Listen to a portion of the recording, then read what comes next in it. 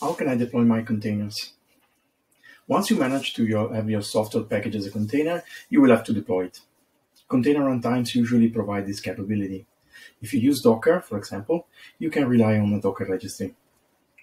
You can use the Docker Hub, that is hub.docker.com, uh, which is public and free, or you can use your own private registry or a private account on a public hub.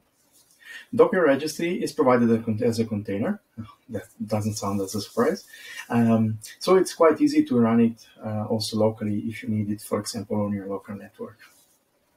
To publish your software, uh, you have to tag your image um, and you need to specify a repository name. This usually uh, also includes your account if you're using Docker Hub, uh, and then a tag.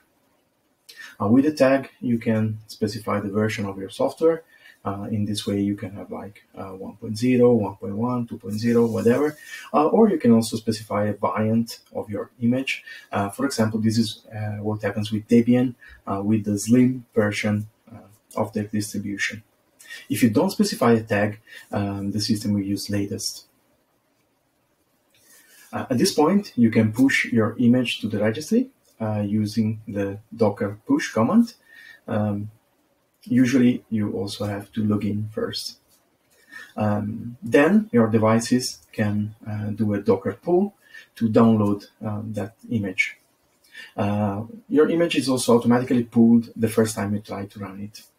But the registry is not providing any capability uh, about updating the images that are already deployed to the devices. So you need to do the pull again if you want to update your image.